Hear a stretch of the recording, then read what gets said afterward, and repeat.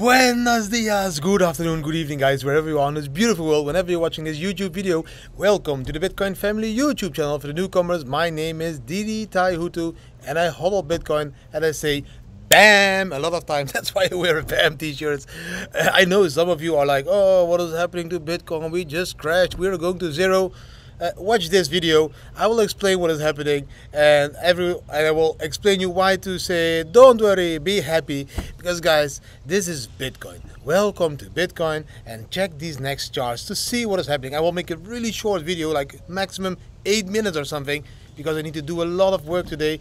Um, I'm being filmed by a camera crew for a documentary and all that stuff. So I will keep it short, but I will give you my opinion on what about what happened and about Elon Musk. Let's jump into the charts. This one. Bomb. All right. Well, I've been down so long that my mind can't get no rest. No, no.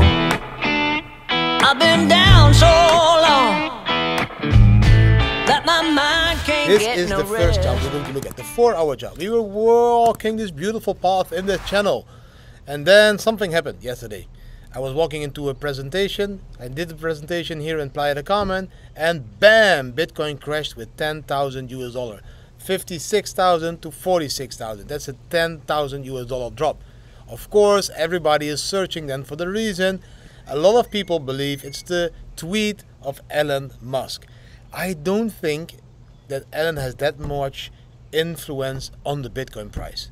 I don't think that one tweet can drop the Bitcoin price um, with 10k. I do think there's something else going on which I couldn't figure out yet. I haven't been able to figure it out. I've been searching which exchange did the dump. I've been searching where was the inflow into the exchange to do the dump, and I've been say, searching where are the buy orders. There was some people buying this huge dump so there were already buy orders at the level of 46k, a lot of them that bought up that dump because we flew up with 5k directly after the dump. So that means there were already buy orders, the price dumped, they were bought up, and Bitcoin is back at 50k. So I'm looking into it. I didn't have time enough since yesterday to do it, but I will come back with uh, those data for you guys because I really want to know what happened, and I really don't believe it is a tweet of some guy that is talking about something he really doesn't understand because he is tweeting about Dogecoin. He's asking the people just up front of this tweet asking should we accept Dogecoin? Do you want Tesla to accept Dogecoin? And the day after he tweets we are not accepting Bitcoin anymore because of the energy. Doesn't Ellen know that Doge is also proof of work? Is Alan really that stupid that he doesn't know that's the same blockchain, it's same proof of work using energy? And talking about energy, guys, bam, here we have energy. You can see, Alan, you should stop accepting fiat, any form of currency, traditional currency, for your Teslas. Because the banking system is using way more energy than Bitcoin has ever done. Also, gold mining is using way more energy than Bitcoin has ever done. Please, Alan, take a look at this chart and stop accepting fiat currency now as well, because that one is really destroying the world. Bitcoin is saving the world, and Bitcoin is working, bam, to decrease that amount. And Bitcoin is working to, bam, decrease that amount of energy that is being used. We can't say that about gold mining, gold recycling, paper currency minting, and also the banking system. They are all increasing, guys. Ellen, this is your last lesson in energy. Bitcoin mining will become more energy efficient than the traditional financial system has ever been, Ellen. Uh, Bitcoin is going to beat the traditional financial system on every front, also energy wise. Just think, Ellen, how many bank buildings are there with computers and employees and air conditionings and heatings and server equipment that back up the computers, and how many ATMs 24 7, how many trucks and fabrics to create paper money and coins and all that stuff. The fiat system that one is energy inefficient, Alan. Bitcoin is the solution to that one. And yes, it appears that Bitcoin is using as much as energy as some countries. Yeah, do compare it apples with apples and not apples with pears. Do compare how much energy is being used by the traditional fiat system, Alan. And then we talk again. That was everything I need to say about Alan and his energy tweet because I don't believe that is really happening. Something is going on, Alan. Just tell us the truth. So I think there is something else going on. I don't know what, but maybe he tweeted because he knew the market was going to dump. And maybe he wanted to help his billionaire friends um, to buy up uh, a dip in Bitcoin. So you never know how these billionaires might act or might help. So I don't think that the tweet of Elon Musk can have that much influence, guys. You know, Michael Saylor has more bitcoins, uh, Grayscale has more bitcoins. So if these would dump their bitcoins, we can see these uh, dumps. And if you out there in this community are selling your bitcoins because of a tweet about Bitcoin by Elon Musk, who is tweeting about Dogecoin as well, which is also proof of work.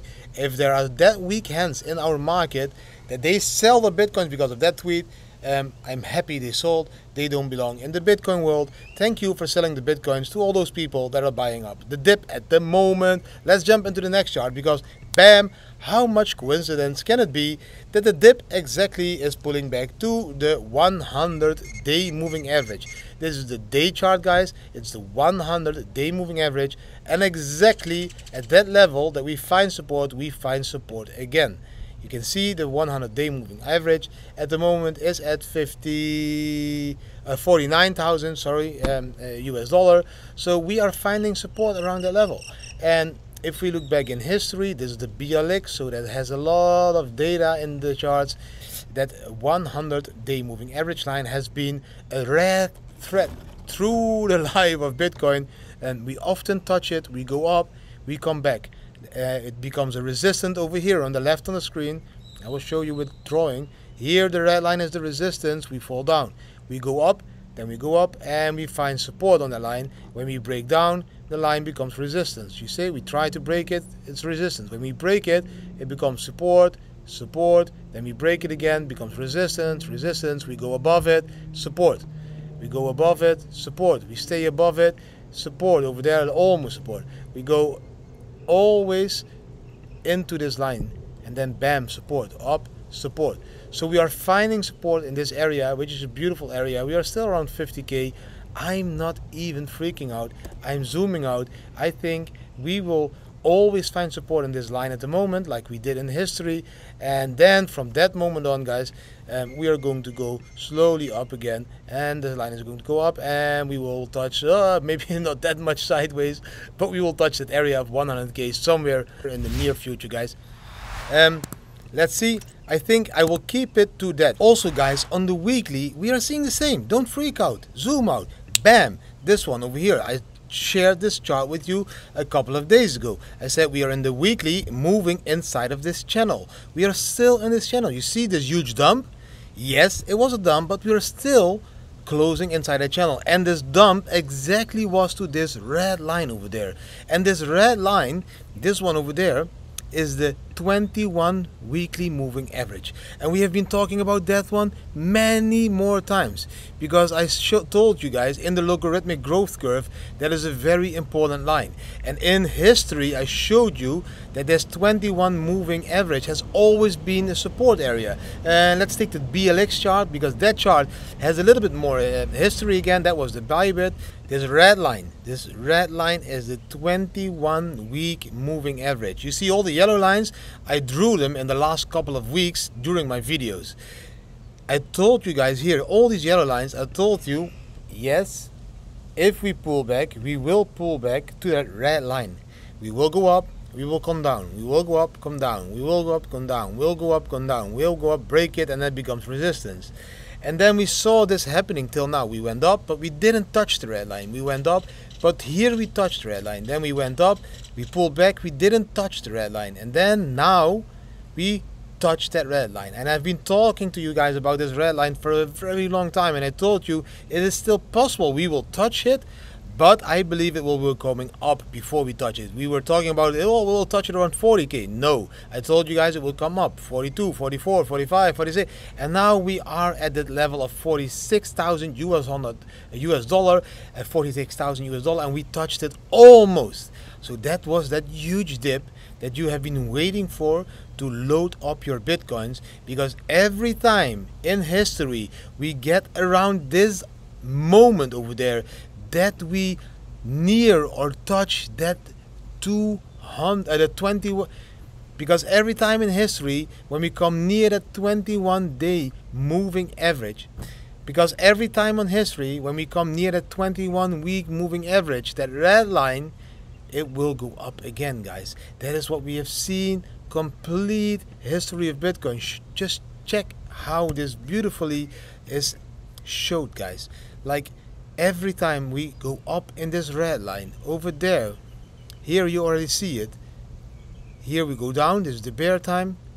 Then we go up we touch it. We go up we touch it. We go up we touch it etc etc this is what is happening now again. Yes we went up we touch it we go up. That is in my opinion the 21 MA I've been talking about it many times so I repeat it again. Beautiful chart. Yes this is normal don't freak out. Zoom out. Bam on this chart you can see I was searching for where does this dump come from. And yes there was a huge inflow um, from the exchanges uh, sorry from the miners to the exchanges.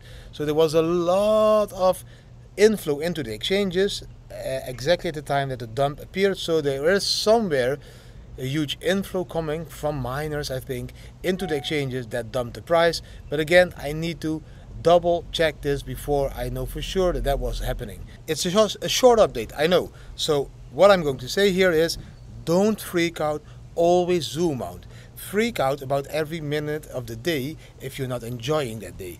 Zoom out in Bitcoin, zoom in at life, try to enjoy every single minute of the day. Don't freak about a tweet of, Elon Musk let him do his thing, man. He's he's the biggest pumper out there at the moment. Man, he's just copying John McAfee. He went into jail. Let's see what will happen with Elon Musk. Thank you for watching this video. If you did like this very short video, give the video a thumbs up, share it with your friends and family, subscribe to the channel, hit the notification bell, and please leave me a comment. What do you think about Elon Musk? Do you still love this beautiful billionaire that was shilling Bitcoin and Dogecoin? Or do you think now, what an idiot, why would the hell would he do this? Or do you think this was not the tweet that dumped the price, it was something else. It was the miners that were dumping the Bitcoin or any other uh, huge investment company. Let me know down below the video. Um, I want to thank you for watching the video again. Please give it a thumbs up and see you later today again with a family video and tomorrow a beautiful TA video that is a little bit more structured because tomorrow I will make a little bit more time for you. My apologies for today. Thanks for watching guys and see you later. Bam! been running so long. That my feet